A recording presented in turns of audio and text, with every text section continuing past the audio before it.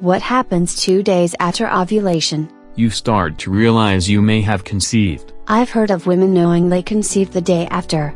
They may have that feeling because they realize the prior night was their fertile night, but unless you're tracking cervical mucus or basal body temperatures, you'd know by day 2. That's because the cervical mucus would have shifted from clear and watery to thicker and white and gooey by day 2. Your body is shifting from the fertile phase to standard phase though the uterine lining is still preparing in case an embryo implants. That's like a week away. When you ovulate, that is day 14 on average of the menstrual cycle. Day 2 after ovulation is day 16, while implantation is closer to day 21.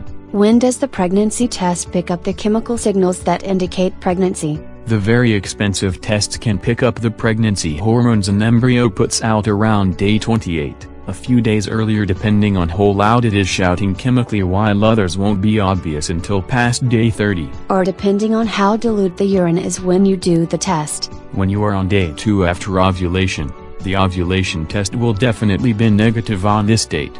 And so will any pregnancy test for days if not a week.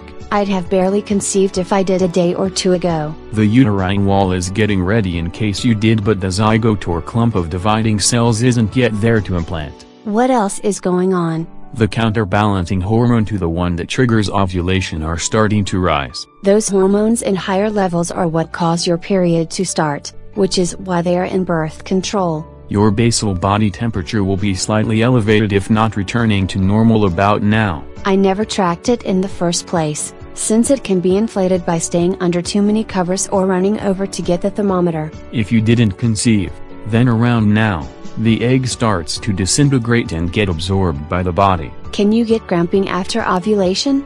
It is too soon to see blood sprinkles or cramps from implantation yet, though you can in a few more days. Then I really can't get pregnant at this point. The only way you'll get pregnant two days after ovulation is if you are wrong about your ovulation date in the first place, because doctors found less than 1% of conceptions happen two days after that release date. So it could be day 14 for me and I'm just off. Or you ovulate on day 16 instead of day 14 of a 28-day cycle.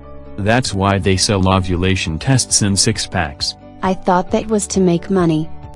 Your body is making ready for the embryo that may or may not show up, while the cervix starts to rise and cervical mucus goes back to normal, and your breast tenderness and other symptoms from high female hormones go away unless and until your period starts at which point I start the cycle all over again.